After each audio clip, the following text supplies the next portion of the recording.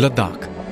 The very mention of this name evokes images of craggy peaks, deep gorges, and icy blue waters.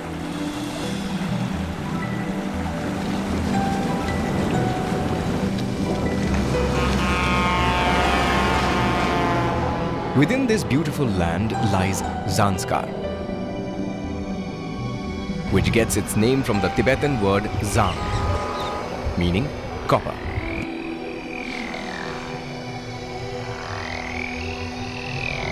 Legend has it that the valley was formed when Guru Padmasambhava slew a demon, whose fall formed this region. Even in the most pleasant of seasons, life here is difficult. But winter gives this word a whole new meaning. Snow blocks the mountain passes that connects it with the rest of the world, leaving it isolated for nearly four months. There is but one unlikely trade route that ironically becomes operational during the harshest days of winter. For a short period, during January and February, the Zanskar River freezes over and pulls a white sheet of ice over itself. This lifeline of Zanskar is evocatively called Chadar.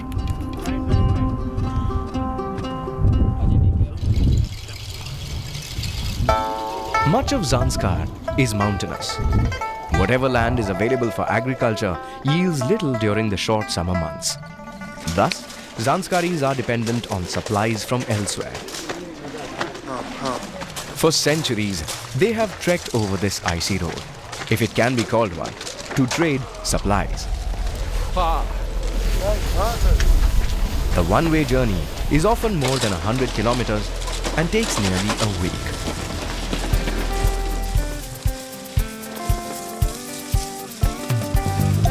And today, this very trade route has become a magnet for adventure seekers from around the world.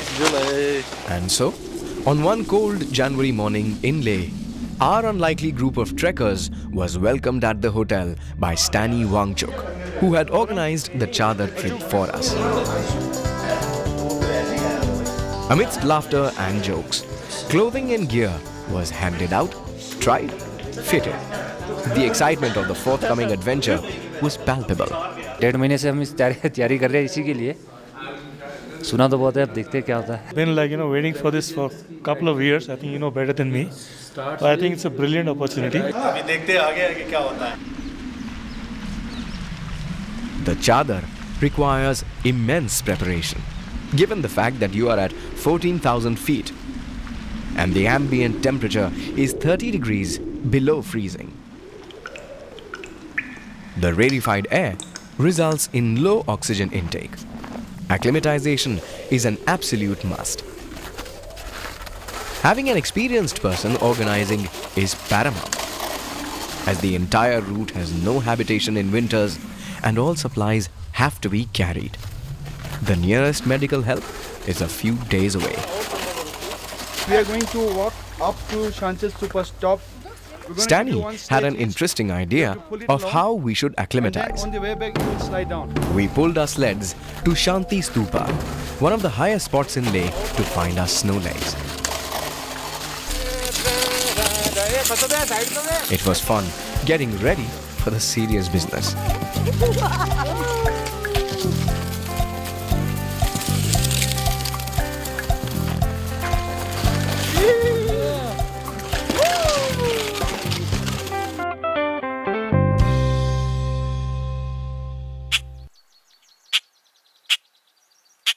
Ah, an orange dawn broke over the snow-capped peaks, and it was time to hit the road. A couple of hours later, we reached Chilling, where we had our first glimpse of the famous Chadar. The name could not have been more apt. From our vantage point on the road, it was as if someone had draped a white sheet over the river. We struggled to find adjectives to describe the sight.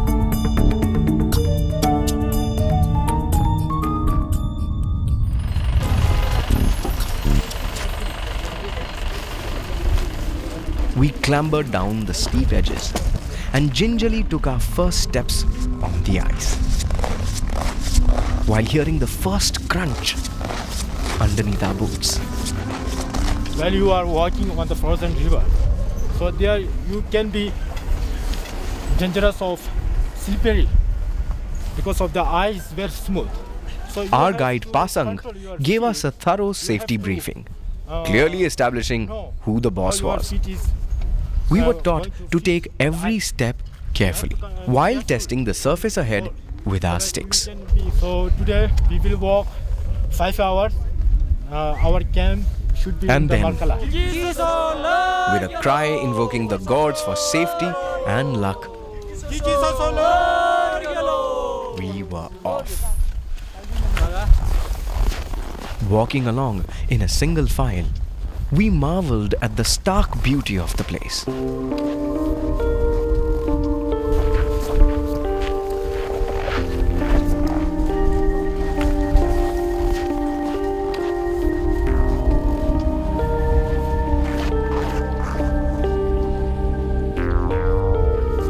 The sun was up and the mood was jovial. Jokes and banter being traded up and down the file. Underlying the light mood, there was a sense of nervousness.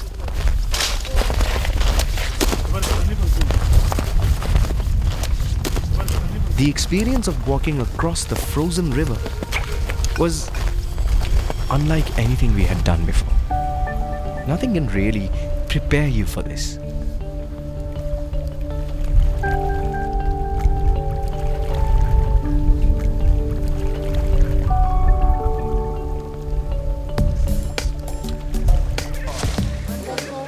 After a couple of hours, we broke for lunch. Instant Korean noodles, but the warmth with which it was served and shared on the rocks made it one of the best meals of our lives.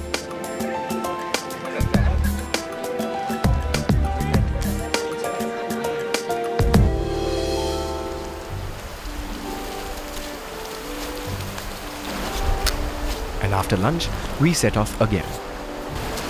At places, one could still see where the river hadn't frozen.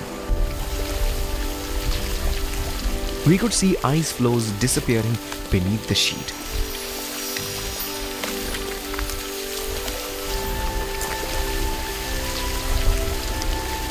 Reminding us of the dangers inches below our boots.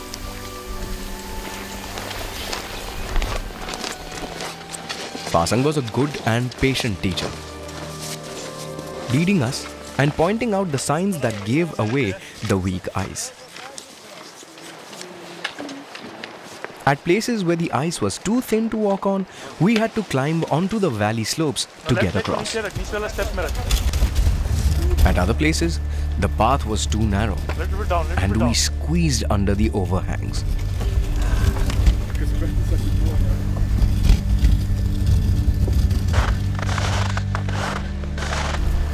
It was exhausting work. Every step a monumental effort.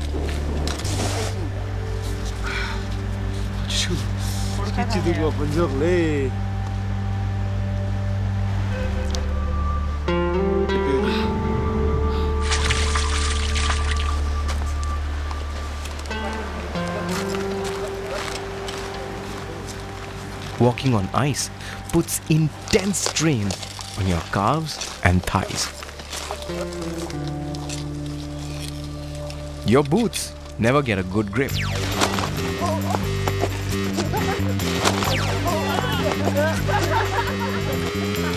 And a moment's lapse of concentration, and you're on your back, looking up at the sky.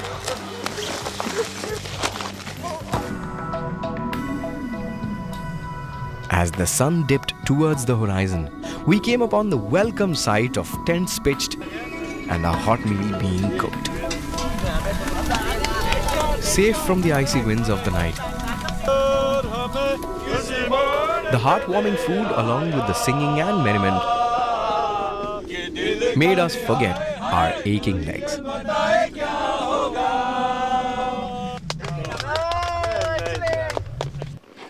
A pedometer carried by the data fiend Ajay Sood informed us that we had walked 11.5 kilometers in a little over 5 hours and taken 15,500 steps.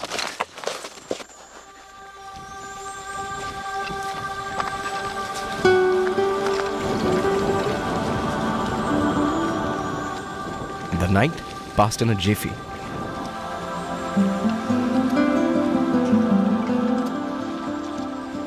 At the crack of dawn, the camp started humming with life again.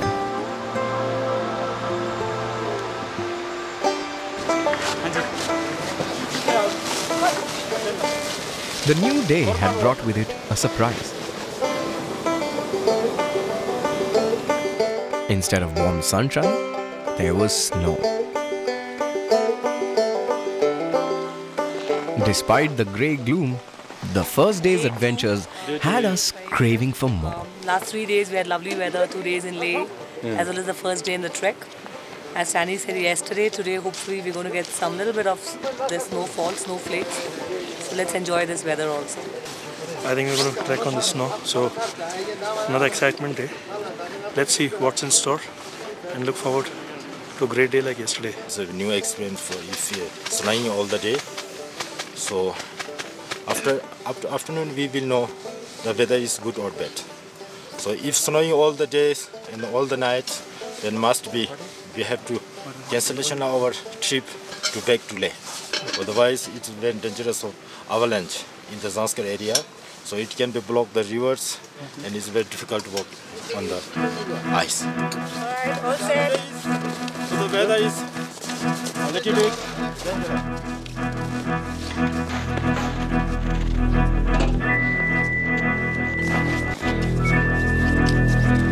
A few minutes later, we came upon this awesome sight. Wow, Awesome. It was as if the cold had frozen time.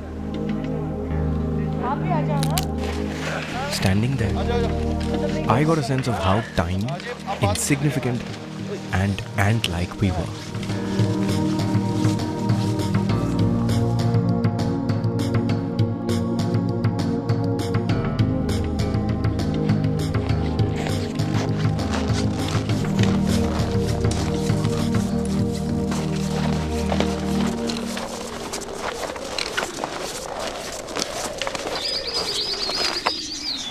It was hard to imagine how anything could survive out there. Yet, there were signs of life everywhere. Dippers dived in the icy waters.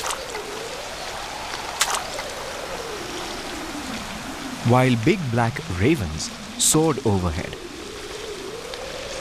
And ibex roamed the slopes with the grace of a gymnast. With each passing step, our spirits soar. To the extent that Vijayant decided it was time for some sculpture. A drunk man sculpture, to be precise. And that had everyone roaring with laughter.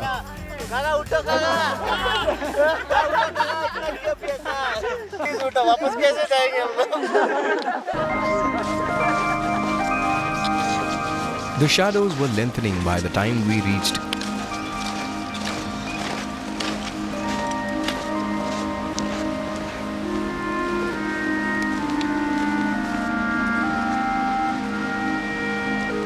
This was our turnaround point, and we would be heading back in the morning. Mr. Pedometer informed us that we had walked nearly 18 kilometers in 27,000 steps that day.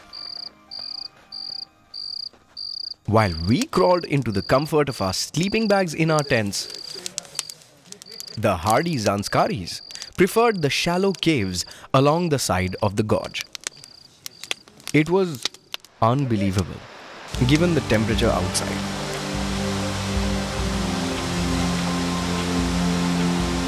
Though we were returning the same way we came, the weather and the ever changing surface conditions meant we would be experiencing a completely different landscape.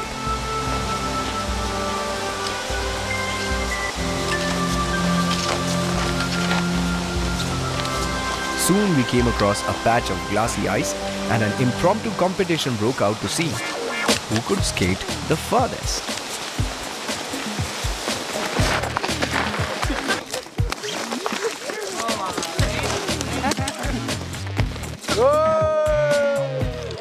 It was a wonderful sight, seeing laughter and fun in such a harsh environment. It was perhaps the warmth of human relationships and bonding that rose above it all and brought us together.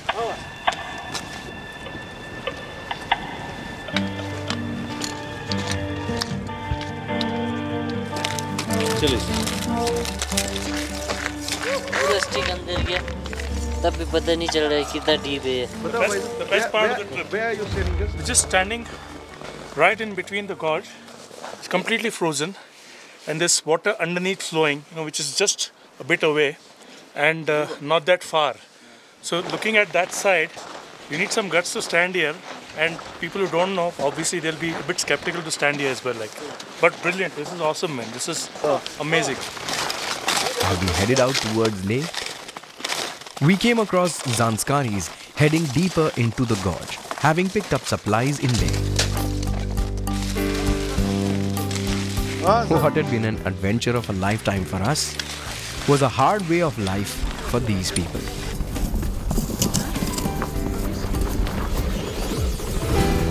Just as we experienced a few moments later, when we felt the ice give way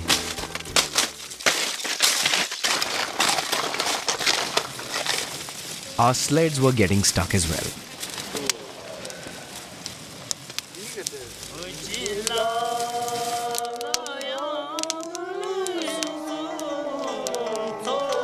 On our final night on the Chadar, our support team enthralled us with ballads of love and adventure that echoed deep in the valley.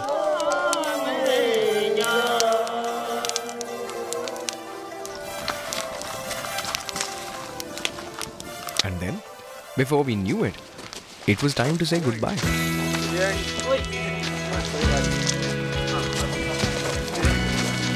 Before starting the trek, we were all wondering if we would really be able to finish it. And now, four days had simply whizzed by.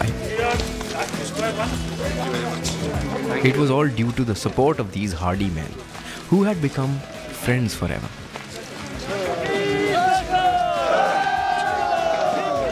The Zanskari Chadar had truly been the highest point in our lives.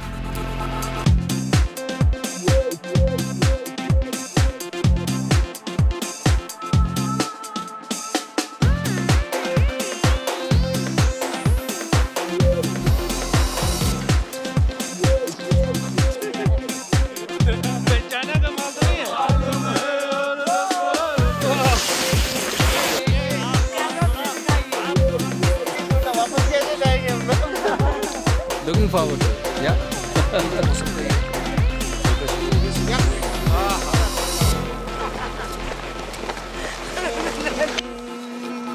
Slow motion. Frozen. So there you can be